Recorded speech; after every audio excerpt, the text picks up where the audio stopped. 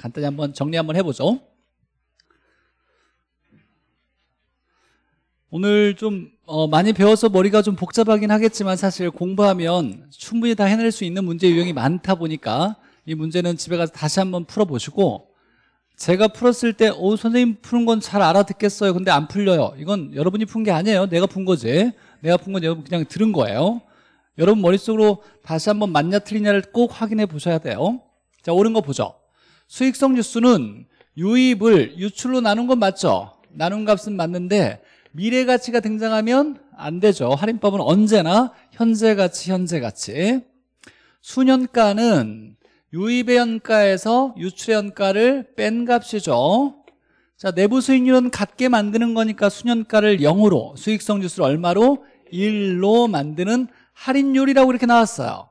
얘가 우리 시험에서도 직접 나와요 지문이 내부 수익률은 할인율이 뭐다? 내부 수익률 자체다. 이렇게 나오는 거죠.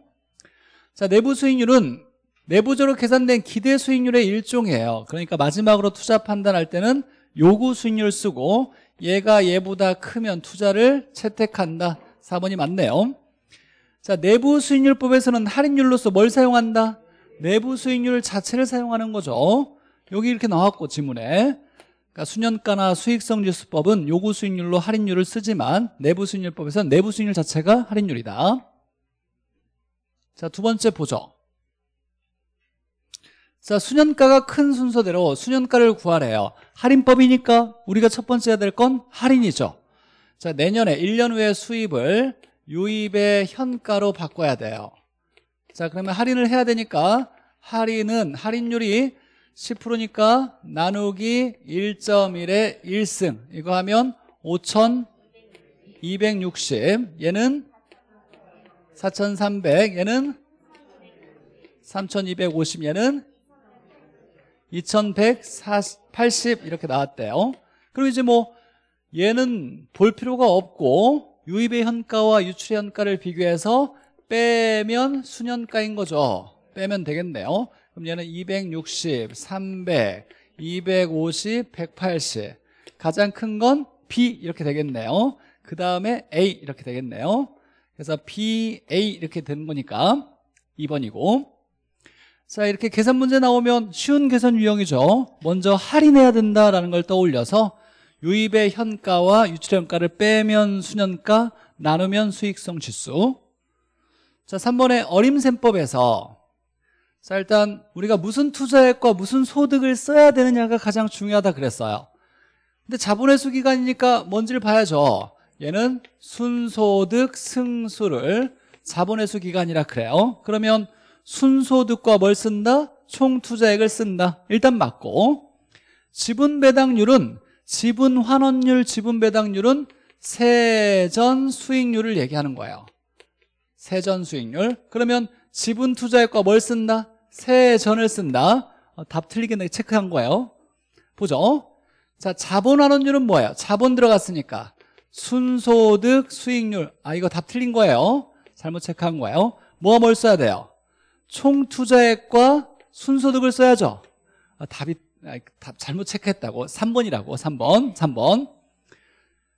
그러니까 답 3번이 틀린 거죠. 자본 환원율은 자본 들어가면 순을 써야 되니까 순소득과 순송 나오면 총 투자액인 거죠.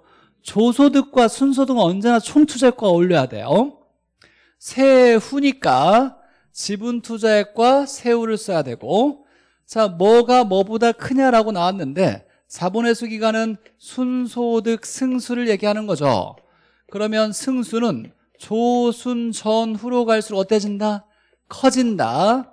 수익률은 조순 전으로 갈수록 작아지고 승수는 조순전으로 갈수록 커진다 그랬어요. 그러면 총소득 승수는 순소득 승수에 비해서 총소득 승수는 총소득 순 아니 뭐. 총소득 승수는 순소득 승수에 비해서 어떻다? 작다 작다 이렇게 나와야 되는 거죠. 답은 3번이에요. 네, 잘못 체크한 거고. 자 답은 옳게 체크됐어요. 나중에 해설지 보면 자 문제 4번 보죠 틀린 거 대부 비율이 50이면 반절 빌렸다는 얘기니까 내 돈과 빌린 돈이 반반 똑같으니까 부채 비율은 100 자, 부채 감당률은 중요하죠. 자, 뭐에 대한 뭐의 비율 이렇게 나왔어요. 그러면 분모 분자를 잘 따져봐야 돼요. 부채 서비스액분의 순소득이니까 뭐에 대한 부채 서비스액에 대한 순소득의 비율이다 이렇게 나와야 돼요. 그래서 2번이 틀렸고 부채 감당률이 크다는 건 돈을 잘 갚는다, 부채를 잘 갚겠다라는 뜻이니까 1보다 작으면 원리금을 부채 서비스액을 순소득으로 감당하기에 부족하다. 맞는 얘기고. 부채 비율은 내 돈분의 남의 돈이니까 지분에 대한 부채의 비율이다. 맞네요. 자 손익분기는 뭘 얘기하는 거예요? 채무 불이행률을 얘기하는 거죠 자 그러니까 얘는 눈으로 봤을 때 가고 내리는 거예요. 가운데 유부터 시작해서. 그래서 유효 총소득이 영업 경비와 부채 서비스를 감당할 수 있는지 따지는 거죠. 공실률 영업 경비 비율 갔다가 내리면 채무 불이행률 반대로 가면 부채 감당률. 이걸 눈으로 그림으로 저장해 놔야 돼요 자 지분금융에 해당하는 거 리조신 공사 펀드.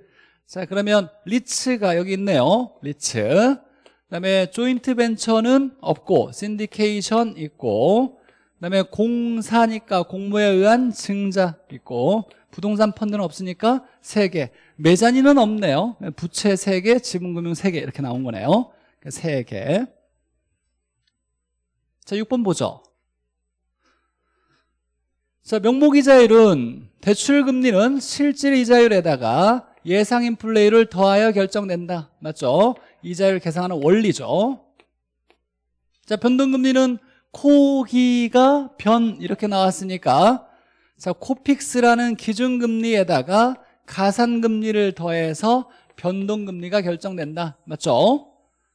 자 변동금리는 일정 기간마다 시장 상황이 변하니까 기준금리가 조정되어 중간에 대출기간 중에 금리가 변동하는 방식이다. 맞죠?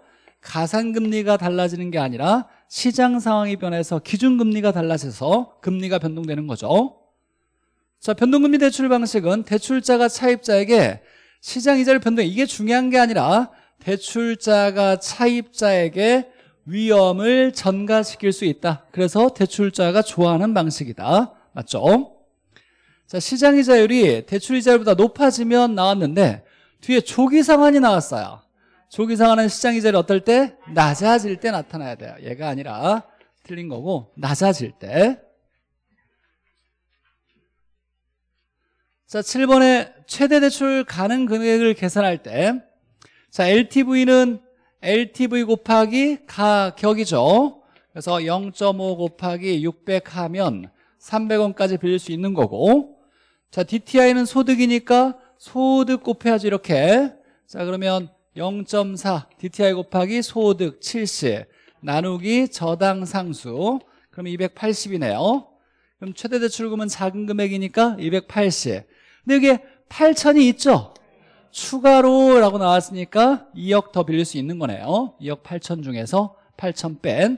이런 거좀 주의해야죠 문제 볼 때. 많이 풀면 이제 금방 익숙해질 거니까 8번 보죠. 대출 상환 방식. 자 초기에 초기에 원리금보다 얘의 원리금이 원리금보다 이렇게 나왔어요. 그럼 처음에 원리금 많이 갚는 거 뭐? 원금 균등이 얘보다 많은 거죠 원리금 균등보다. 그러면 얘가 이 원리금 균등에 비보다 많다. 맞네요 자 대출자 입장에서 차입자에게 원금 균등으로 원금 균등으로 대출해 주는 것이 이렇게 나왔어요 자 원금 회수 측면에 보다 안전하다 맞아요 원금을 가장 빨리 갚는 게 원금 균등이니까 자 원금 균등은 만기로 갈수록 자, 원금은 일정한데 이자가 주니까 원리금은 준다. 맞네요. 자, 원리금 균등해서 원리금 일정한데 이자가 준 만큼 원금이 는다. 이렇게 나와야죠. 만기로 갈수록 이자는 언제나 준다죠. 준다.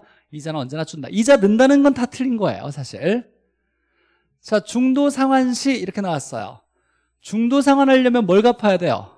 못 갚은 대출금 갚아야죠. 잔금을 갚는 거예요 자, 이 잔금이라는 게 드러나 있지 않아도 중도 상환 시 상환할 금액은 이라고 나오면 이건 잔금을 얘기하는 거예요. 중도 상환 때 갚는 건 잔금을 갚는다. 잔금이 언제나 가장 작은 건 원금 균등. 그러니까 얘와 얘를 비교했을 때 원금 균등이 작아야 돼요. 그러니까 얘보다 얘가 적다. 맞네요. 이렇게 부등호 체크하고 잘 봐야 돼요.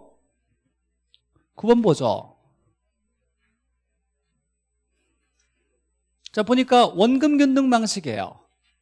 자 그러면 우리가 이제 원금 균등이니까 원금 먼저 구하지. 자 10회차를 물어봤는데 원금은 대출금을 대출 기간으로 나누니까 300원을 빌렸다. 3억을 300원이라 보고 30년이니까 10원씩 갚겠네. 원금은 10원씩. 자 두 번째 이자를 구해야 되는데 얘는 잔금에다가 이자율이죠 자 그러면 잔금을 구하려면 몇 번 갚았냐를 알아야죠. 10회 차니까 몇 번? 9회 원금을 상환했다. 원금을 얼마씩? 10원씩. 그럼 90원 갚은 거네요. 자 그러면 대출금이 300원 중에 90원 갚았으니까 잔금은 210원 되겠네요. 곱하기 이자율이 0.05 그러니까 상환한 원금을 구해서 잔금 계산해서 계산하면 1010.5 이렇게 나오겠네요. 그래서 두 개 더하면 20.5 이렇게 2050만 원. 자 원금 균등 방식. 원금 구하고 이자 구해서 원리금 구한다 더해서. 이때 이제 잔금을 구할 때 상환한 원금 구하는 거 이게 이제 포인트죠. 자 10번에 보니까 2회차에 상환할 원금을 구해라 라고 나왔어요. 원금을 구해라? 자 근데 보니까 원리금 균등이에요. 어 그러면 공식 알고 있는 거 써야 되겠지. 자 1회차. 1회차 원금을 어떻게 구하냐면 대출액에다가 차이를 곱하는 거죠. 저당 상수와 이자율의 차이. 자 대출액은 4억이었고. 자 저당 상수가 0.09 이자율이 6.5니까 0.065 이렇게 되겠네요 차이는 얼마? 0.025 이렇게 나오겠네요 자 그러면 얘가 얼마 나오죠? 얼마 나올까요? 10? 아, 1000 이렇게 10 나오겠네요 자 10이 나왔어요 자 여기다가 2회차 원금을 구하려면 얼마를 곱한다? 1 플러스 R이죠 R이 0.065니까 곱하기 1.065 이렇게 하면 10.65 이렇게 나오겠네요. 답은 10.65 이렇게. 31회 때 나왔던 거 잠깐 좀 쉽게 바꾼 거고.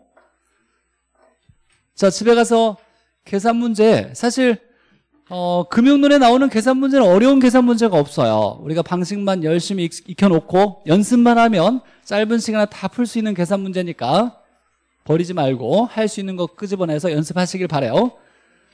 다음 주는 많이 공부해요 네, 즐거운 마음으로 뵙도록 하겠습니다. 고생하셨습니다